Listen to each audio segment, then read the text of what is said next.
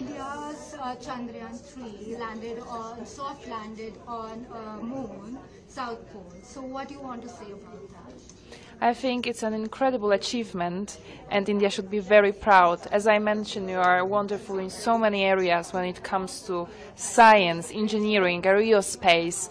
I mean, great India is great world, and we can all look up to you.